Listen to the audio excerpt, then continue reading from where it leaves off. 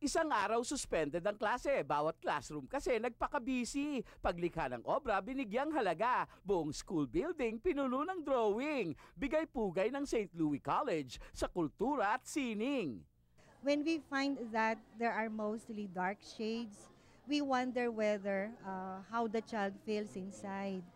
And even the drawings, when they a bit, you know, when they come a bit medyo magulo, magulo, uh, sabi ko nga sa inyo, it's an expression of what is within. Mag-umpisa tayo habang bata sila. Paglaki nila, dala nila yung mga values na yan. Ibang klase namang children's book ang inaasahang papatok.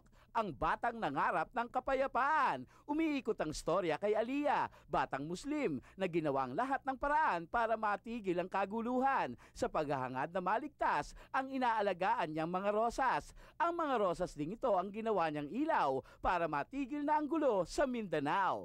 Kaya ganun yung drawings, parang cutouts. Kasi parang si Aliyah, para siyang uh, I can see Aliyah drawing it. Naka-CD din ang libro na may moving animation tulad nito. Bata pa lang ako, mahilig na talaga ako magbasa, especially lalo ng mga children's books. Kumbaga, kinain ko lahat yun, dinigest ko lahat yung mga ideas, yung mga kwento. Kaya pala punit-punit yung libro sa inyo, dinigest mo lang. Oo.